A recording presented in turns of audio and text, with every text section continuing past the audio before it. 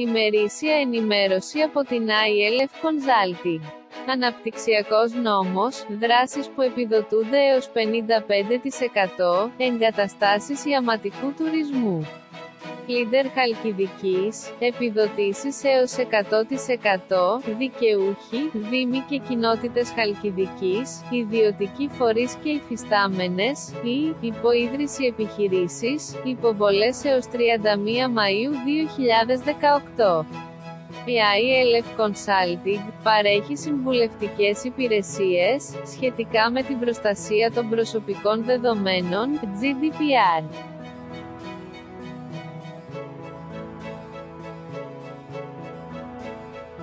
Bitcoin vs επενδυτικός χρυσός για το 2018. Παράταση των ημερομηνιών υποβολής, των σχεδίων βελτίωσης μέτρου 4,1.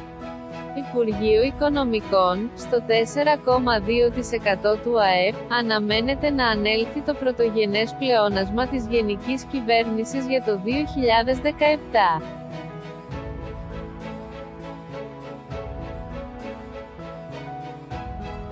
Φορολογικές δηλώσεις συζύγων, από το φορολογικό έτος 2018, η δυνατότητα ξεχωριστής υποβολής.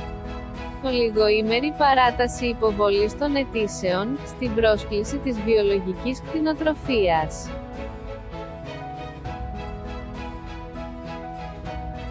ILF Consulting, εδώ, δίνουμε λύση.